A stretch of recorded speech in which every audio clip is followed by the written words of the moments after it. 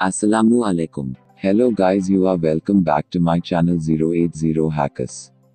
Today I am going to show you how to install over 535 tools in Termux without rooting your devices.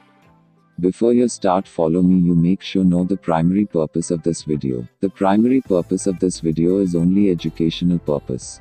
And the tool we are going to install is only made for educational purpose for penetration and testing. There's nothing made for illegal in this video because the tool that we are installing never harm anyone, so use the tools to control your activities. So let's get start to our video.